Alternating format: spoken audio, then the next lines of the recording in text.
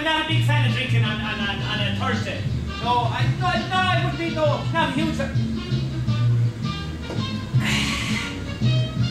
How are ye? And you're very welcome to a brand new show which is called God Knows. Over the next couple of weeks or so, we'll be looking at all the headlines in the newspapers. Now, the first headline we have today is from the Irish Times, and of course, we're looking at the uh, poll puts Higgins ahead in race by Gallagher, surge into second place.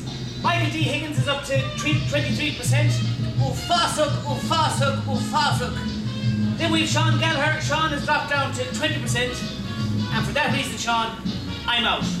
And then Martin McGuinness is down to 19%. I'm saying nothing.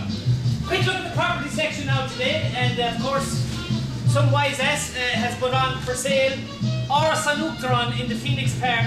Uh, this detached property is of historic significance and is available on a seven-year term, which of course would suit all our candidates. They could do one year each, and then save all the hassle. And of course, they're looking for a brand new housekeeper by the name of Snow White. Finally, our tip today, we'll be giving you a tip every week in the horses. And our tip today is in Tramore. It's in the 515 and it's called Shot of Vodka. Now, just to let you know what's happening in the Hop Inn, this Friday night we have live music from Bad Horsey. That's kicking off at about 10 o'clock. Saturday we're back myself, Ethan Roshi mixing up some cocktails, and Sunday calling to see myself. From all the crew at the Hop Inn, thanks for tuning in, and we promise never to leave the videos as long again.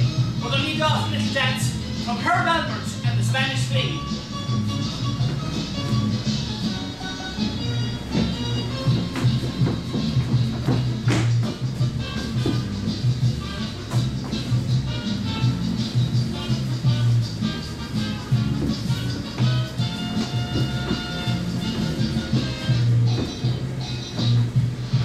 Crew to hop in. Bye bye.